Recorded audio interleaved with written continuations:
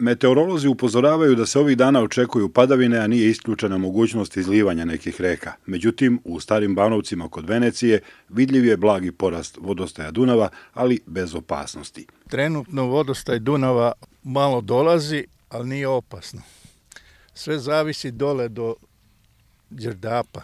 Đerdap je glavna prepreka za Dunav, za Savu i za Moravu. U poslednjih nekoliko dana e, stalno ste na Dunavu. Kako se kreće vodostaj?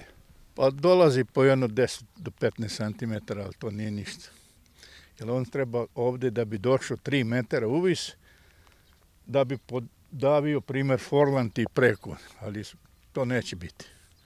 Jer jedino sad zavisi samo do Đerdapa. Đerdap utiče zato što je pregrađeno, znaš, i on mora da propušta što veću pritoku vode jer je veliki doliv vode ima primjer od Morave, Morava jako dolazi, Sava i ove bujične vode, znaš, one bujične vode, potoci, to, to će jedino podaviti. Inače ovo što mi radim ovdje na Dunavu ne može. Ašćerić tvrdi da aktuelne padavine i oscilacije vodostaja ne utiču na plovidbu i rečne plovne puteve.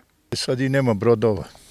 Sad primjer Ukrajina ne radi, njeni brodovi slabo idu, jedino Bugari i Rumuni što idu, to su prolaze, to malo Mađari i oni prolaze, drugo nema i brodova. Kiša i prokladno vreme nisu prepreka za ljubitelje Dunava da vreme posvete reci. Kako ti se danas čini Dunav? Velik.